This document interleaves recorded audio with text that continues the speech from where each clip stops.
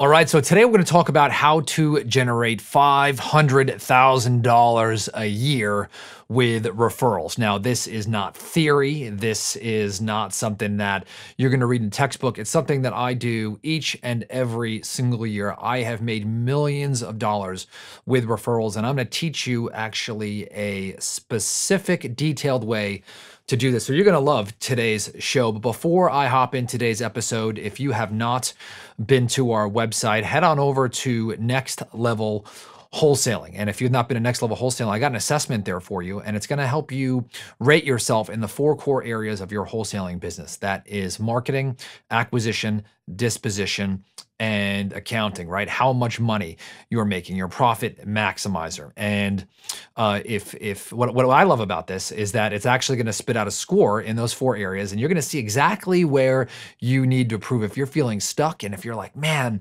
I just feel like I'm on a treadmill, and I want to get to that next level. I want to create a business that works for me, uh, even when I sleep. Then go to nextlevelwholesaling.com and take that free assessment. I take it every quarter. This reminds me where I need to improve, and uh, I guarantee you, you will not be disappointed. So go ahead to nextlevelwholesaling.com. All right, so let's talk about how to make five hundred thousand dollars a year, half a million dollars a year with referrals. Now, let me tell you a little story. This goes back to I don't know 2010, and uh, basically I did not have a very, very deep referral network, and I decided to actually be intentional about this. So I uh, called up a local escrow company of mine here in uh, San Diego, and I called them up and I said, "Hey, you know, is it okay if I come in and bring lunch for you and your team, right? You and your escrow or title officers. By the way, if you are not in California, uh, escrow usually is synonymous with you know your title company, your closing company, uh, or your lawyer's company that basically closes your transaction. The people who handle the paperwork and the recording of documents in the public records. Okay, this is not that important. It's just that fact that these are the people who control the transactions. And so I had a mentor tell me to do this because he said, hey, you know what? If any deals fall out of escrow, deals fall apart, escrow is the first person to know about it. So I said, Can I bring lunch in for you and your team? Which, by the way, not a lot of people do that. Most escrow companies are usually wining and dining everybody else, not the other way around. And the funny thing is, you know, back in 2010, I was having a pretty rough year. Uh, you know, I, my, my income thermostat was low and I was not really hustling like I should. And it was kind of a, a I was uncomfortable spending money at the time. And so, long story short, I brought in a very, very, very fancy lunch into my escrow company. It was from Subway. and I don't know, I brought in 40 sandwiches and that was like 40 foot longs and I had them cut them in half. And so long story short, I don't know, I spent 60, 70, 80 bucks on sandwiches and, um, you know, fed, I don't know, 20 people. And I sat down and I just explained what I did and how, uh, how I was looking to buy property. And so if that, that there was a deal at this escrow company and it was falling out of escrow. We could come in, make an offer, try to save the deal, right? And keep the file at that company without them losing the revenue. Now, there were a few real estate agents they're asking questions about how I could close deals for cash and make that happen. Well, long story short, there was a, a, an agent in the crowd, and I said, "Hey, if you've got a deal falling out of escrow, do me a favor, call me. I'll make an offer, and I would save your deal." And so Victoria came in. She was very enthusiastic, and she goes, "I've got a deal for you." She goes, "This place is worth about four hundred thousand dollars." There's uh, some issues with it, but you can buy it for $180,000. Yes, that's a big spread. My jaw almost dropped. I couldn't drive over there fast enough to check it out and I was like, "Yes, I can I can get over these issues." And long story short, locked it up on a contract. I closed on it. I got private investors to actually come up with the money. I didn't have any a cent of my money into the property. Long story short, uh, I bought that property for $185,000, and a few short later, for a few short years later, I sold that property for around 670 $5,000. Now, that is an extreme example, but those kind of deals happen every single day. Here's the beauty of this is through that one relationship, I probably have made over two to three million dollars with Victoria. Okay.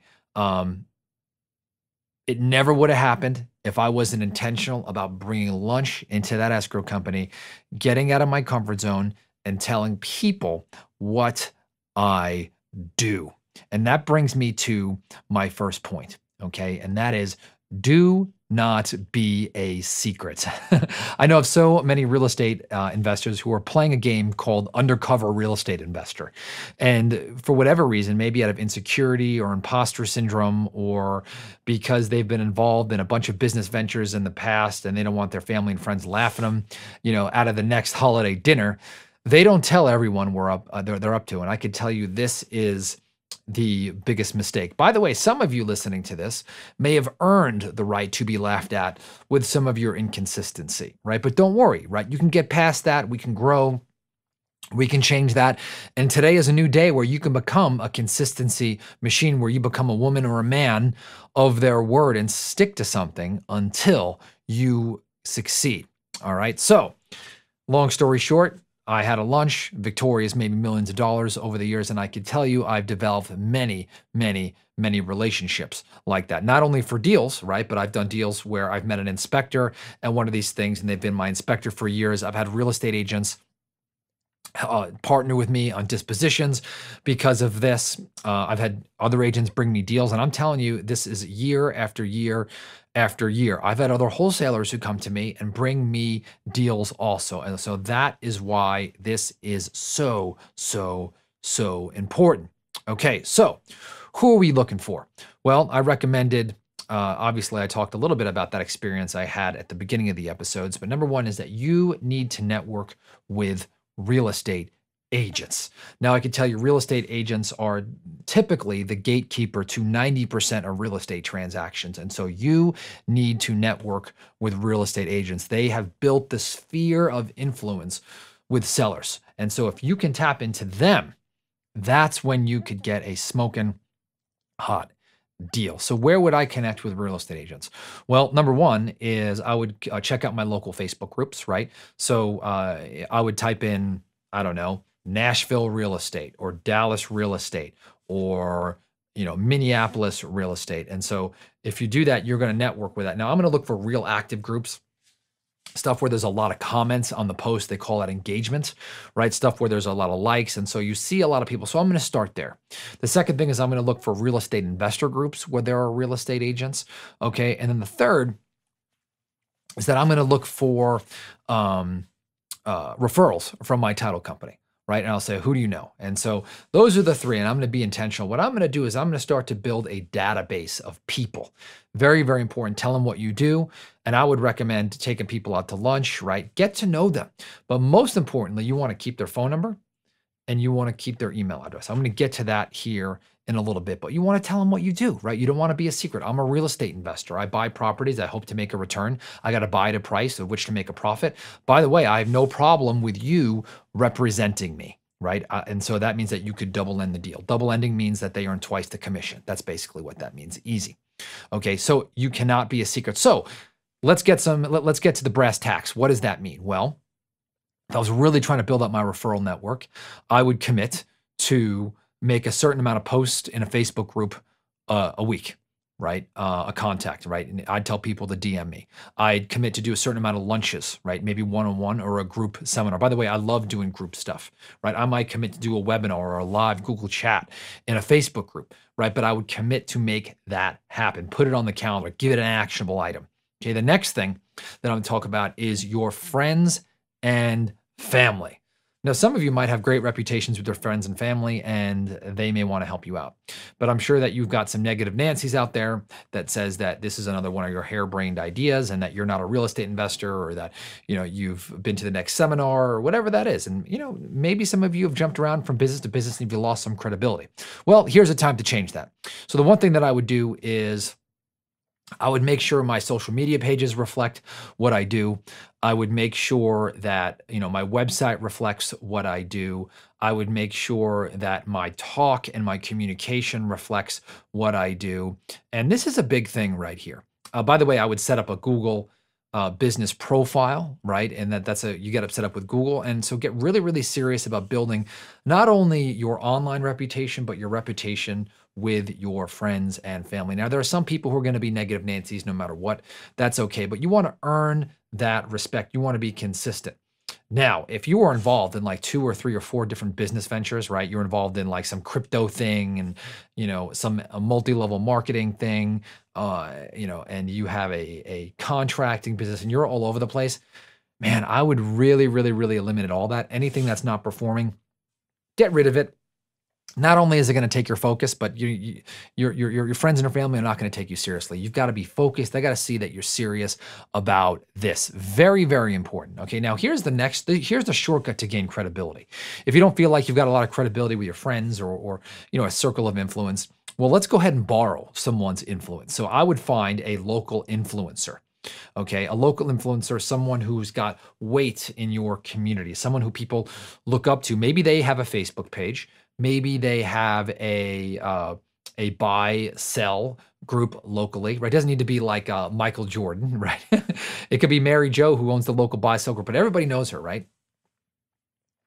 Um, you know it could be uh, you know a um, a local political figure that was once running in politics but is out of politics now, right? But they have a following. Could be an email list, it could be a Facebook page, could be a YouTube channel, could be a podcast, but it's local, local, local, local, local, local, local. I can't, I can't get over that enough, right? This person, you could uh, join forces with them to do deals, right? So they could bring you on and they could tell you about their service, right? Or tell people about your service and then you could cut in this influencer for a portion of the deals. Okay. I can tell you that this is one of our most profitable channels for 2022, and we are going to lean heavy into this in 2023. Pretty excited about that, but don't worry about if you don't have credibility. Borrow that credibility from a local influencer. So, how do I do that?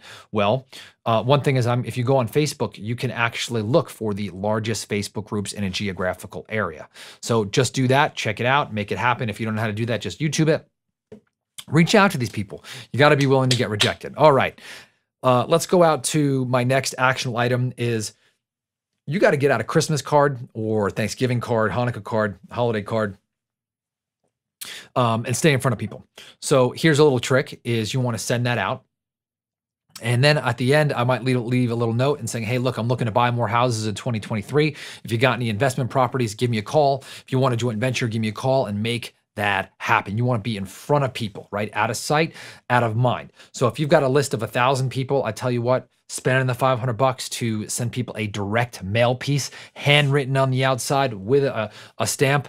Tell people what you do, make an impact, right? Also, appear local, have a picture of your family on there. If it's just you, you're a single guy or girl, picture you and your dog. I don't care what it is, right? But make sure that you are in front of people. Next thing I'm going to talk about is content local content. Uh, I've got a uh, a good friend of mine who puts out an amazing email newsletter. Uh, he uh, puts out a, uh, a, a great update on the market at the end. He uh, always talks about how he buys houses, and so my recommendation to you is start to build your influence by putting out content. Now, uh, you could partner with a great real estate broker who's going to give you content and you can post that. And at the end, we're going to say, hey, we buy houses and we're going to make this happen. So uh, I, I don't care what it is, but you have to give people value with that content. Now, if you've noticed anything, is you want to build an email list. So I love to give away giveaways. So if you notice, if you listen to this podcast, uh, I'm going to give you, you know, my script that I talk to motivated sellers, right? So if you want to check that out, you can go to nolimitsrealestateinvesting.com forward slash script, right? If you want to uh, meet with me on Facebook, you can go to wholesalinggroup.com, right? And hey, hang out with me on Facebook in, in one of the groups that I hang out with, right? So that's another way. And now I've connected you in that group. I also give away my calculator for Novation. So you can go to novationscalculator.com if you want to know what to pay for uh, a Novations deal. And you're like, what the heck? I have no idea. Start there. I'm going to give that to you. So novationscalculator.com. But you see what I just did there, right? Is that I am offering you value in exchange for your email address right? It's not a commitment. Now, for me, I'm going to offer value. If, if you're on my email list, I send emails out with content about twice a week. So I'm always in front of you, always building that relationship, always offering value. And so, you know, I can't force anyone to do business with me, nor do I want to force people. You know, and at, this point, uh, you know, in terms of a, lot of areas of my business, there's some areas where I can't take on any more business, and that's because I've built up an email list and a reputation and goodwill with my audience. All right, very, very, very important. So you need to build an email list of your prospects. By the way, I would check out uh, an area where you want to check out your email list. If you can go to uh, MailChimp.com, MailChimp.com, that's a great place where you can just start to collect email address and addresses and send mass email out to your people. The last thing I'm going to mention is escrow companies, title companies, lawyers' offices. Man, do lunches here right? Do, do lunches there at least every other month. And I tell you what, it's going to uh, pay off in spades. People are going to remember you. They're going to like you. They're going to want to call you. You're going to get contacts. You're going to get knowledge. You're going to get relationships. And business is going to come to you. Now, you must stay in front of people. They've got short memories. You want to send out emails. You want to ask for the business. But I got to tell you what, right? Let's go back to Victoria. I told you on that one deal, do the math. I made a lot of money. I went on to make millions with Victoria every single year. All right. And I love that because that was my first first one. I've gone on to do many, many, many, many deals with real estate agents, right? With people who refer to me from title companies, from other wholesalers. Because by the way, I didn't recommend uh, I mean that, but you want to network with other wholesalers who are new in the business who want to partner with you, right? Split the deal. They're going to be ecstatic, right? And you're going to offer all of this value to you. So to reiterate, right? This is not theory. This is something that I do today. I, I, I, I did it, you know, 10, 12 years ago, and I still do it today. You want to network with real estate agents and brokers. You want to network with friends and family. You want to build credibility, your websites, your social media. Hey, it should bleed what you're doing. Don't have five different businesses, right? Look like you're serious about this. If you don't have your own credibility, guess what? Partner with somebody else who's got the credibility. The local influencers, I mentioned the Facebook groups. Send out a Christmas card, Hanukkah card, I don't know, eh, you know, and any any kind of holiday card, right? And tell people what you do. Remind it. Use direct mail. Uh, the next thing I would say is, hey, put out some content. Tell people what to do. Don't be a secret. Don't be an undercover investor. Collect people's email addresses, connect with them, offer value, give, give, give, give, give. Remind them what they do, right? And then one day in return, they're going to send you a deal and it's going to be 30, 40, 50, maybe a $100 deal. And you know what? That could be a multi million dollar relationships escrow companies. I love to do lunches there. And lastly, network with other wholesalers. I tell you what, these people, some of them are real hustlers. They've got deals and they don't know what to do when they've got a motivated sellers. Help them close it, and you will have 500K a year coming in from your sphere of influence before you know it. Talk to you soon.